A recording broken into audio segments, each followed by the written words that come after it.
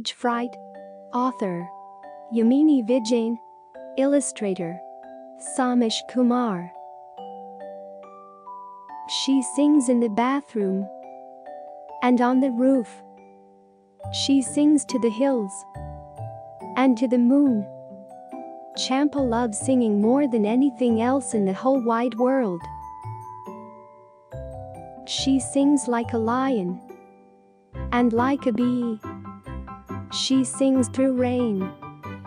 And through heat.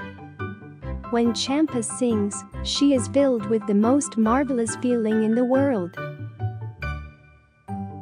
One day, when Champa sings, Basant's eyes light up. I have an amazing idea. He says. Basant is Champa's best friend, and he is always bursting with ideas. Some are terrific. And some are terrible. You should sing on annual day. Says Basant. What a terrible idea. Says Champa. Why not? You love to sing. Champa hasn't told Basant about the only time she got on stage and nearly fainted with fear. I, I can't sing in front of so many people. I don't even sing in front of Ma and Pa. You do sing around me. All you need is a little practice, Champa. Should I? Yes. Yes. Yes. What if Mahi and Paras laugh at me? If they do, it just makes them silly and mean. You're an amazing singer. The very thought of singing in front of a crowd fills her stomach with butterflies. Champa is excited and terrified at the same time. But she loves singing so much. She decides to give it a try. Dot. Champa practices long and hard. She rolls out of bed with a soft hum. She sings while multiplying and dividing. She makes her voice go up and down and down and up while taking the goats out to graze. She sings through her mouth. She sings through her nose.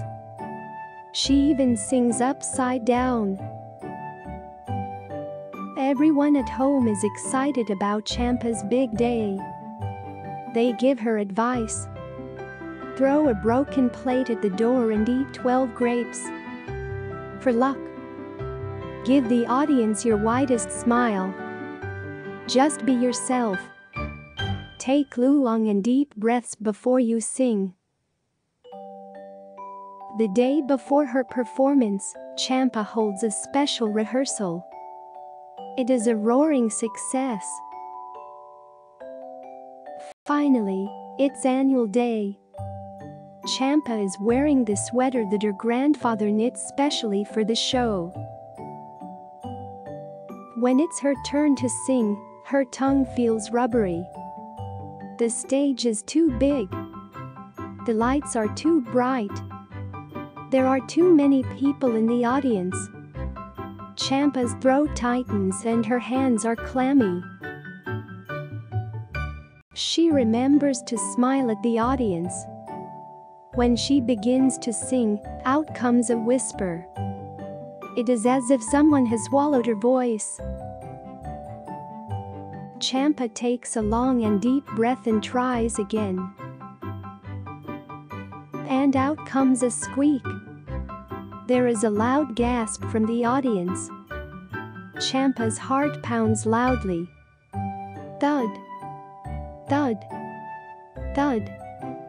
Her head starts to spin. That's when she sees Basant waving wildly at her. She is so glad to see him. So she tries again. At first, the song comes softly. Although her voice is shaky, it sounds somewhat right. Then slowly, The music flows out of her, smooth and strong and melodic. It does not matter that the stage is too big, or that the lights are too bright, or even that the audience has a lot of people. Champa lets her voice go wild and free. And as she does, she is filled with the most marvelous feeling in the world.